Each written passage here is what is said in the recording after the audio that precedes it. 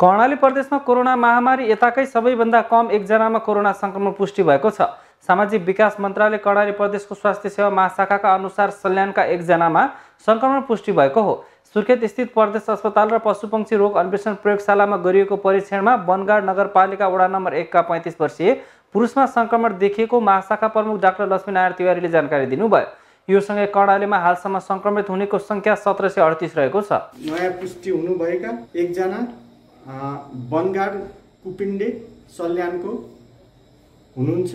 यस कर्णाली प्रदेशमा हालसम्म आरटिपिसिआर विधिद्वारा कुल छत्तिस हजार तिन सय बिसजनाको परीक्षण गरिएकोमा एक हजार सात सय अडतिसजनाको नतिजा पोजिटिभ आएको छ। त्यस्तै आइतबार मुङ्केचुला आइसोलेसन सेन्टर डोल्पाबाट एकजना कोरोना मुक्त भई डिस्चार्ज भएका छन्।